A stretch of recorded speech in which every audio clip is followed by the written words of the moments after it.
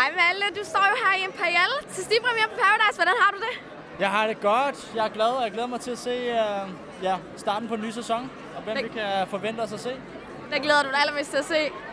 Jeg glæder mig til at se, hvad for nogle typer der er, uh, altså versus dem, vi havde sidste år. Om det er nogle af de samme typer, og det samme ja, spil og ting og sager. Det bliver sindssygt spændende. Hvad har du så forventninger til de nye deltagere?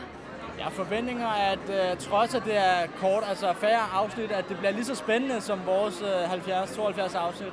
At der kommer lige så mange twister, og der kommer lige så mange uh, ting og sager. Men Malte, du er i gang med en sangkarriere lige nu. Hvordan går det med den? Ej, det går skide godt. Jeg skal til LA næste uge. Nej, okay, det skal jeg ikke.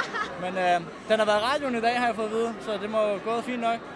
Det vidste du ikke, eller hvad? Det var du ikke forberedt på. Det var meget fint, at ringe til mig og sagde det. Så det var fint. Så vi har en sanger her. Ja, nu må vi se. Det er i hvert fald sjovt at lave det. Jeg elsker at lave musik. Hvordan, øh, hvordan er det at være far? Eller blive far hedder det selvfølgelig. Jeg ved ikke, hvordan det er at være far nu, men øh, jeg, Glæ- glæder, Glæder du dig? jeg glæder mig helt vildt. Hun bliver rigtig stor derhjemme, og øh, ja, men jeg glæder mig til sommer, når han kommer. Det bliver Hvornår er det, han, øh, er, eller hvornår er det, Nadia er sat til fed? den 17. maj. Stort tillykke, Malte. Tak. Vi snakkes.